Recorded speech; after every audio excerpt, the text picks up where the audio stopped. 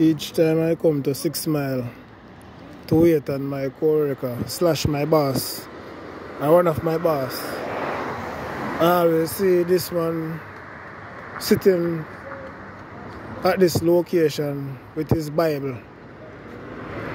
I'm not sure if he's 100 upstairs or if he's devoted man of God, not sure, but you know. Always curious and wondering um, why he always come at this location early in the morning to um,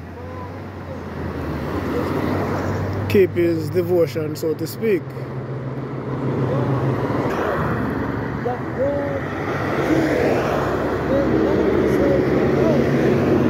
Brother, Huh? The church is not today. I'm not teaching us the truth. Sir? The church of today is not teaching us the truth. Church up today not teaching the truth.